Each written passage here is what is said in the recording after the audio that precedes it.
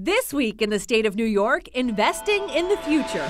New York State has begun accepting applications for the new Get On Your Feet student loan forgiveness program, an effort to help ensure student success after graduation.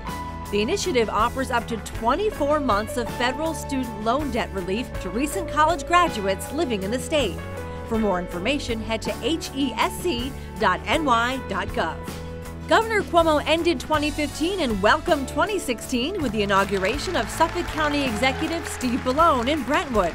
We wish all New Yorkers a very happy and safe New Year. Until next week, that's the state of New York.